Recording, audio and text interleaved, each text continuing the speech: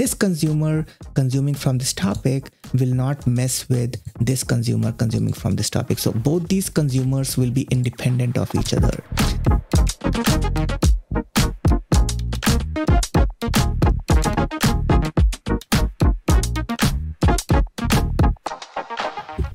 Hey everyone, welcome back to the channel. Today we are diving into something foundational for building a scalable and real-time system using Apache Kafka. But before I jump into Kafka, let me give you a little context. So a few months ago, I started building a project. And as an AI researcher, I've been always fascinated by potential of private and local AI. So I started building this system that is capable of handling real-time speech transcriptions, making decision based on those transcriptions and taking actions based on those decisions, right? So it sounds very straightforward at first, but it ended up being a very complex journey for me. And it tested my problem solving skills and also my understanding of distributed systems. So I've been doing a lot of AI research in my past. Around uh, 15 years back, I've been doing some research in optimization algorithms in AI. And that is why AI fascinates me a lot. If you notice that uh, the response time of these AI large language models, if you're hosting it locally, of course, is not very fast. So, how can you make and build a real time communication system and yet have a fast response time, right? Because if you're talking to somebody, right, like I'm, I'm talking to you and you're in front of me, in those instances, if you do not hear the response back right away, then eh, it doesn't feel natural. And I wanted to build a system that is natural, which brings me to Kafka. So, if you've never heard about Kafka, don't worry, you are not alone. But the thing is that uh, Kafka will be a very critical tool for building my speech to speech or STS application that I'm that I'm gonna be showing to you in this video series. So, what I wanted to do is to set set the context, to set the stage by introducing you all to Apache Kafka. So, this video will not only serve as a foundational video for the speech to speech system, right? Because Kafka would be that um, centralized place where the message communication will take place. So this video will be a foundational for that, but also it will be a foundational uh, concept for you for Kafka in general. So imagine if you're building a large scale application where multiple services need to communicate with each other. So we have many ways in which this used to happen, right? So for example, in your local Ollama Kana API model, right? So this is a traditional REST-based system where one service calls another service directly to send or request for data. And while this works for simple systems, right, it, it starts to become a problem as you scale. What if one service goes down?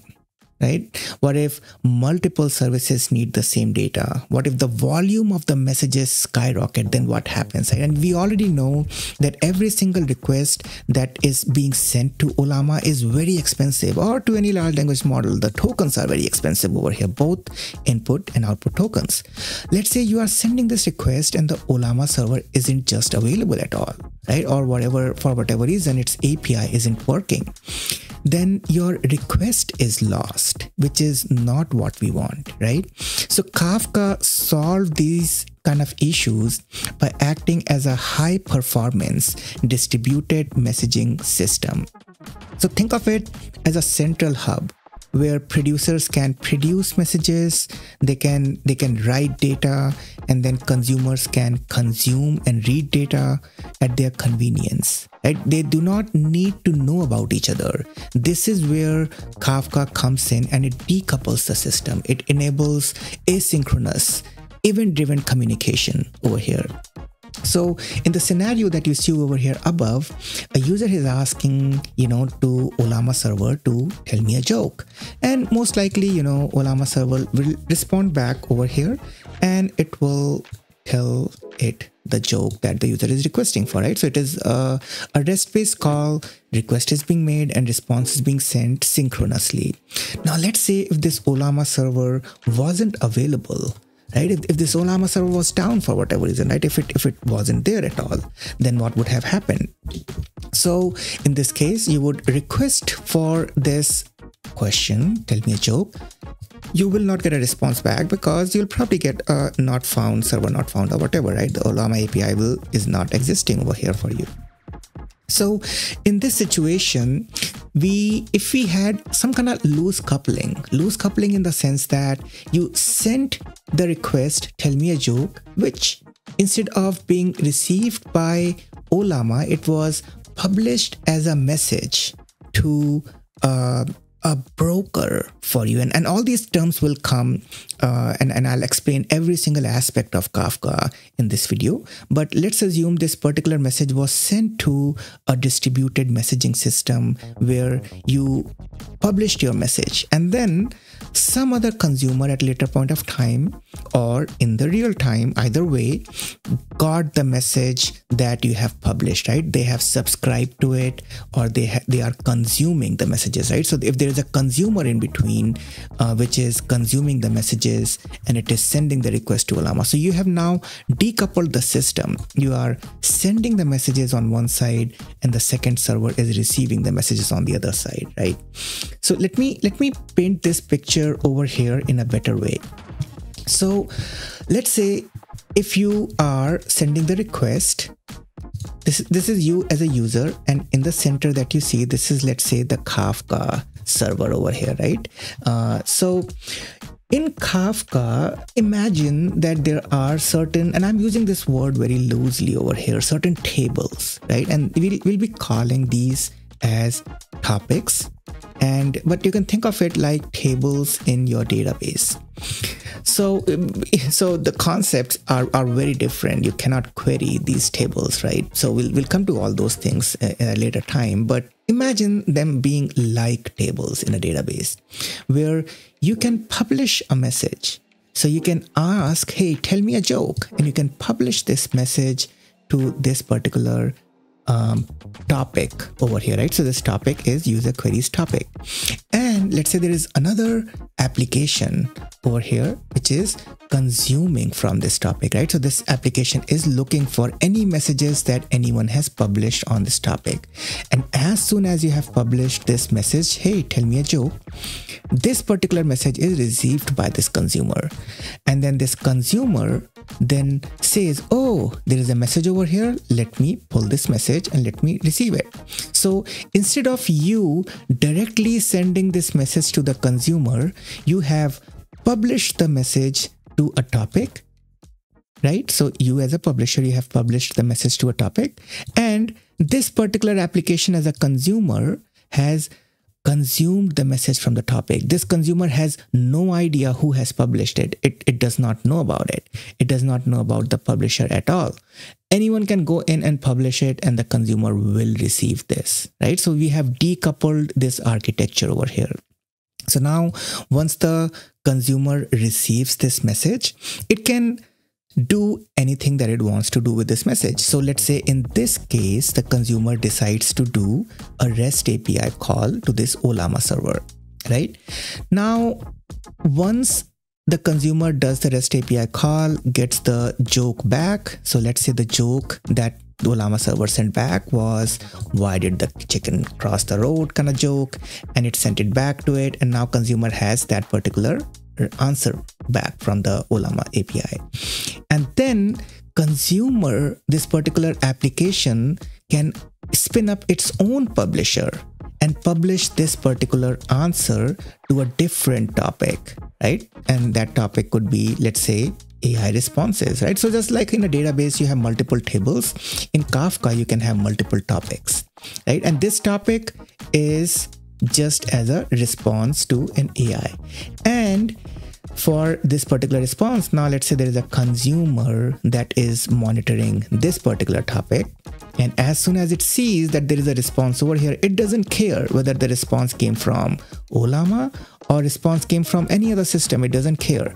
As long as there is a response over here, it will consume it and it will pass it along to the whichever system is Uh, looking for it, right? So this decouples the whole system. This architecture over here decouples the whole system. Now let's assume let's assume the same scenario where this Ollama server was down, right? So let's say if this Ollama server wasn't available and this was down.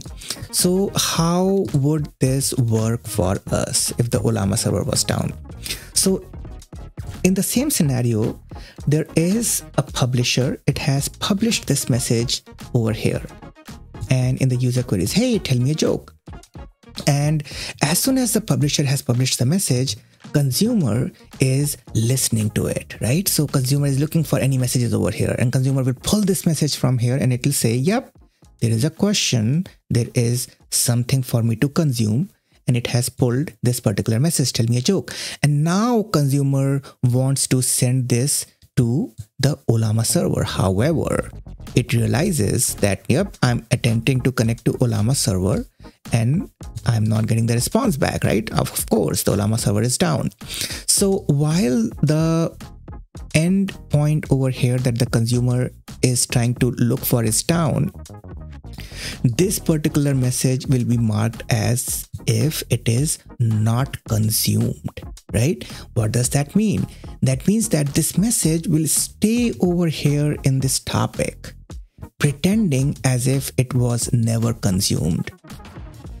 And this is huge. This is huge because the consumer can pull this message again and it will attempt to send this again over here. Or we can have some kind of retry logic on the consumer right? So there are two options that we can do over here. Option number one there is something called offset right? And we'll, we'll talk about these these terminologies in detail but there is a concept of offsets in kafka. What that means is it keeps tracks track of what is the last message that was consumed right so if if there is a consumer which is consuming from a topic it will keep on letting the topic know or it will keep on letting the kafka broker know uh, kafka server know that I have consumed this particular message or not, right? So it will keep track of the offset. And if this particular message is not consumed properly, the consumer will not commit the offset. It has a it has an option to not commit that offset. And there, there are certain delivery semantics, and again, a technical word of Kafka, and I'll go into details of this. But there is a delivery semantics um, concept in Kafka, which is at least once, at most once, or exactly once, right? So if the message was consumed, in which way, and was it processed in the way the consumer wanted it to process or not, right? All those things will kick in over here. So let's say Ollama API comes back after a little while, right? So let's say after five minutes or so, Ollama API comes back and consumer has some kind of retry logic built in that, hey, keep on retrying for four or five minutes. And then after five minutes, it got the the Ollama server's response back from it. And then the application will move on to the publisher phase and it will publish it to the AI responses. So yes, the response will be delayed, of course, because the server was down, but the response will be guaranteed over here as compared to the previous scenario where if the Ollama server is down, you ask a question and it falls off in the limbo and goes away, right? You do not have a way to get this particular request from the user. Whereas in the Kafka world, you have published a message to a particular topic and there is a consumer monitoring that topic and it is pulling the messages and only if it is successfully able to process the message it commits the offset over here or only if it is able to process the the message in, in the retry, right? It commits the offset over here. All right. so all that being said, let me fix this over here all that being said let's let's go deeper into how kafka works and what are the high level um, ideas over here so you can see you can already see at the very high level there is a publisher or actually the, the more you know um, used word is producer over here right p-r-o-d-u-c-e-r producer. And so let me change this also producer. And uh, so producer is so this is a service that publishes messages to kafka. So think of this as a sender of the uh, messaging system over here. And then there are topics. As you can see uh, so kafka organizes the messages into topics uh, which are like channels for specific type of data right? So in this case the topic is user queries or the topic is ai responses. And then consumers are the services that subscribe to these topics.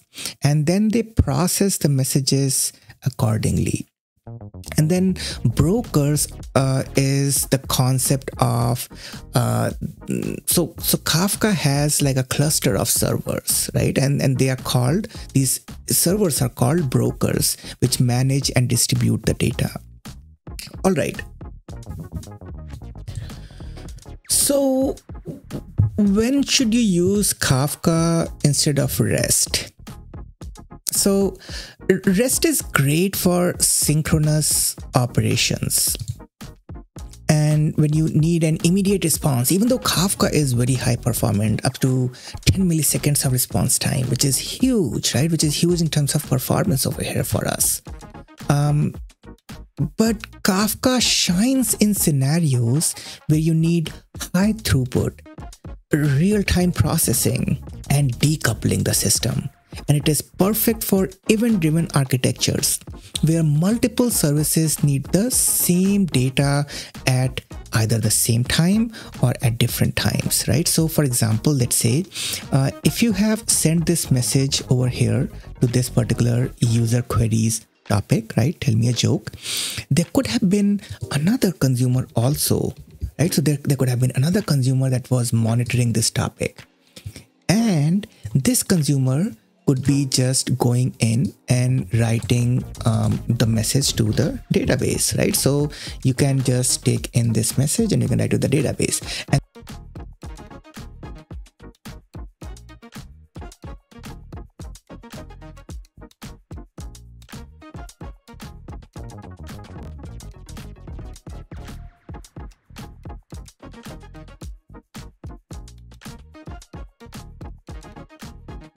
this consumer consuming from this topic will not mess with this consumer consuming from this topic. So both these consumers will be independent of each other. Any message sent to this topic will be received by both the consumers, right? So you will send a message over here, but it will be received by both these consumers over here. And then one consumer will go and write it to the database and second consumer will go and request the response from Ollama and then proceed forward. Which is huge actually because now um, we, we are talking about a paradigm shift right? So it takes us from a traditional request response kind of approach to an event driven and asynchronous world